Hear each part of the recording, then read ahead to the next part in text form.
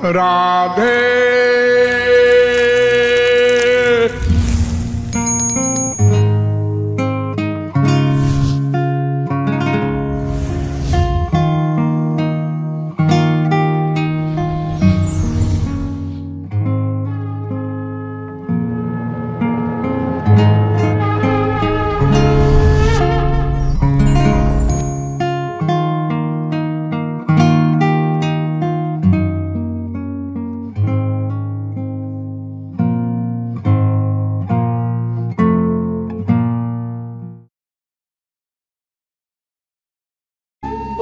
भगवान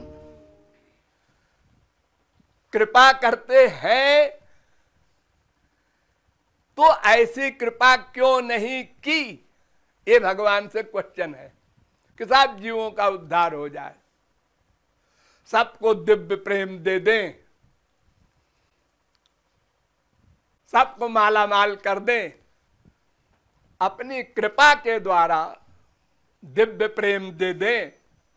तो हम कृतार्थ हो जाएँ, धन्य हो जाएँ, भगवान के पास चले जाएँ गोलोक। ये भगवान ने नहीं किया। कोई कह सकता है कि भाई देखो ऐसा है कि अनंत जी महापुरुष पहले हो चुके हैं। उन्होंने कानून का पालन किया था। भगवान का एक लॉ है। अर्जुन से कहा था उन्होंने समोहम सर्वभूतेषु न मे द्वेष्योस्ति न प्रिया। अर्जुन, मैं, मेरी किसी से दुश्मनी नहीं, क्योंकि मेरा कोई कुछ बिगाड़ नहीं सकता। दुश्मनी तो तब होती है ना, जब हमारा कोई नुकसान कर सके। तो ये जो पॉइंट आप देंगे कि और सब महापुरुषों ने तो शरणागति की, तब कृपा किया उनके ऊपर। भगवान कहते हैं, मैं मैं तो समदर्शी हूँ, न्यायाधीश हूँ। जो जैसा करता है, वैसा उसको फल दे देता हूँ। अपने बाप को भी मैं नहीं छोड़ता। दशरथ जी को मरना था, मरे। हमने नहीं बचाया उनको। हमारे बाप थे। अभिमन्यु को मरना है, मरा। मैं सामने बैठा हूँ। और महापुरुष है उसका बाप अर्जुन। और शादी कराने वाले वेद व्यास, वो भी भगवान के अवतार। तीन तीन सुप्रीम पावर। और कोई नहीं बचा सका। अब आजकल उसकी हालत सीरियस है। ला पंडित जी को बुलाना, मृत्युंजय का जाप करे तो वो बच जाएगा। और सुनो बेवकूफों को, ये पंडित जी के मृत्युंजय के जाप से बच जाएगा वो। तो भगवान न्यायाधीश है। और ठीक भी है। उनका, उनको न किसी से कुछ लेना है, और न उनका कोई कुछ बिगाड़ सकता है। तो फिर वो रागत द्वेष करेंगे ही क्यों? ठीक है।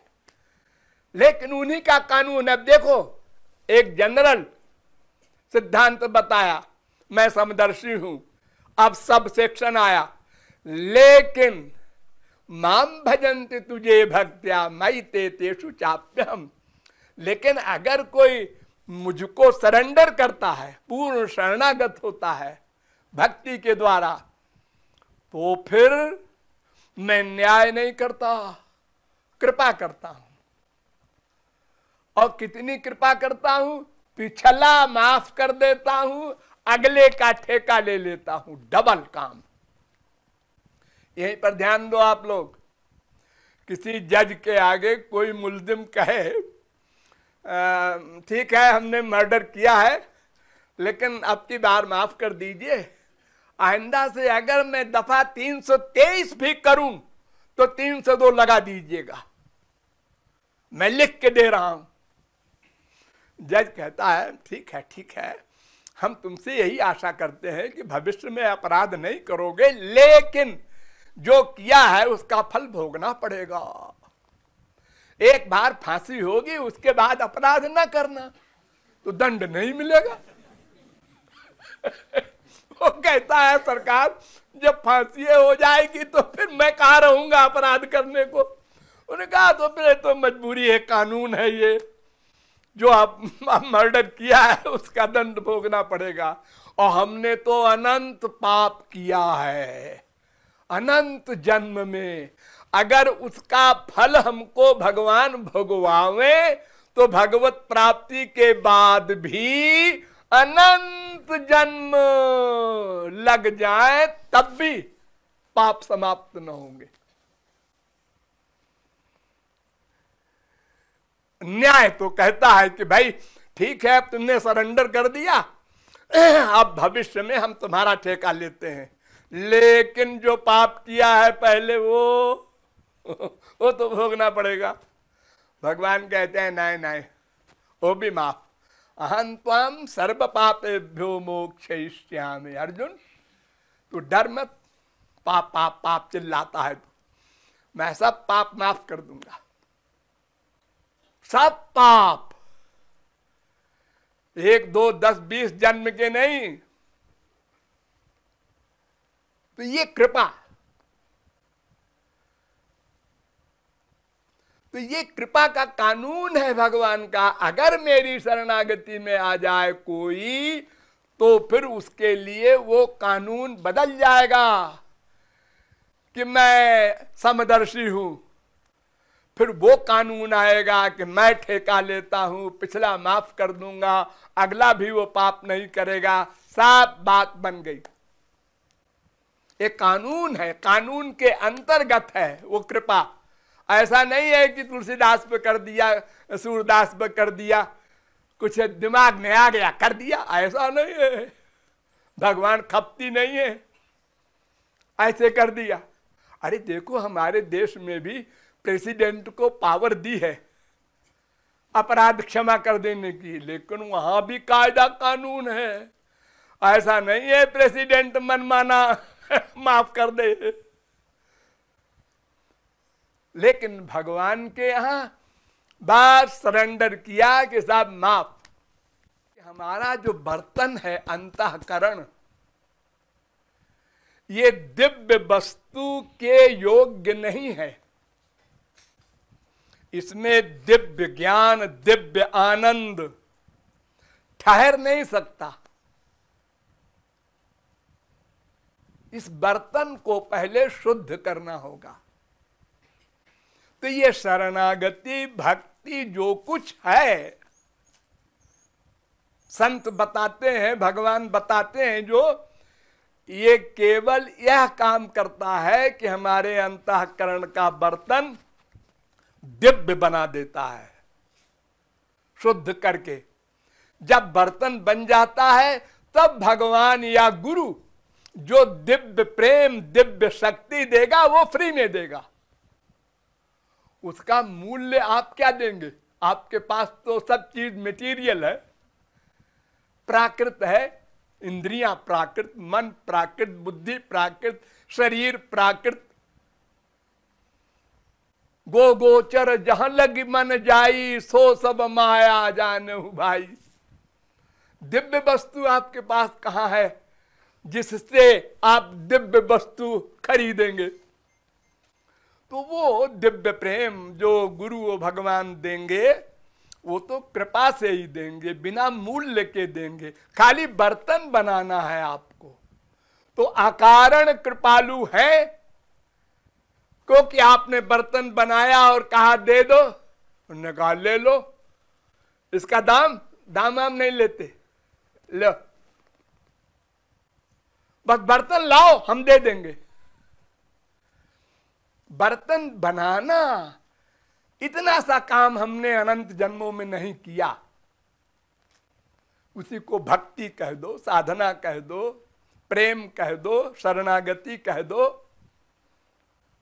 केवल भगवान ही हमारे अंतकरण में रहे, संसार न रहे, कुछ भी भाषा में बोल दो ये हमने नहीं किया अब तक। या टेन परसेंट किया, ट्वेंटी परसेंट किया, फिफ्टी परसेंट किया, अरे ninety nine point nine percent भी किया तो भी काम नहीं बनेगा। ये लोहा है, ये पारस है। पास में आ गया, पास में आ गया, पास। अभी नहीं अभी नहीं अभी नहीं। ए, छू गया। अब सोना बनेगा। एक करंट जा रहा है तार में। हमने उंगली रखा, नए नए नए, छुआ दो, अब खींचेगा वो। यदा हे वै तस्मिन्नु दरमंतरं कुरुते अथ तस्य भयम भवत। वेद कहता है, जरा भी अंतर न रहे शरणागति में। आपके मन में संसार थोड़ा भी न रहे। तुम बेवकूफ़ हो, जो समझते हो हमको लोग अच्छा कहते हैं। सब पीठ पीछे बुराई करते हैं। तुम्हारा बाप, तुम्हारी माँ, तुम्हारा बेटा सब। अभी अभी बुराई कर रहे तो वो आ गया। अरे आइए श्रीवास्तव जी, आइए आइए। हेलो क्या एक्टिंग हो रही है? तो हमारी जो भूल है अपने को शरीर मानकर, शरीर के रिश्तेदारों को अपना मानकर इस भूल को मिटाना होगा। आज नहीं, कल, चाहे जब। अनंत जन्म हमने ये गलती की और फिर कर रहे हैं। फिर चौरासी लाख में घूमने के बाद कभी मानव देह मिलेगा और फिर यही बात सामने आएगी। कोई गुरु आपको बताएगा और फिर आप नहीं मानेंगे। इसी प्रकार घूमा करेंगे चौरासी लाख में। ये जिद काम नहीं देगी कि हम तो अपने मन के अनुसार काम करेंगे। जी, हम वेद शास्त्र पुराण, संत, भगवान की बातें नहीं सुनते। ठीक है, कर्म करने का अधिकार सबको है, लेकिन फल भोगना पड़ेगा। भगवान के कानून के अनुसार वो नहीं चलेगा। वहाँ कोई ढींगा मुश्ती नहीं चलती भगवान के यहाँ। को वहाँ घूस दे देंगे, वहाँ ये कर देंगे, वहाँ ऐसा भिड़ा देंगे बिड़ाना उड़ाना कुछ नहीं काम देगा, भोगना पड़ेगा। इसलिए भगवान अकारण करुण है, हमारा काम बर्तन बनाना, हम भक्ति के द्वारा अंतकरण शुद्ध करके, गुरु द्वारा उसको दिव्य बना करके तैयार कर दे, फिर वो भगवत प्राप्ति वाला सामान भगवान, गुरु अपने आप दे देंगे और हम कृतार्थ हो जाएँगे।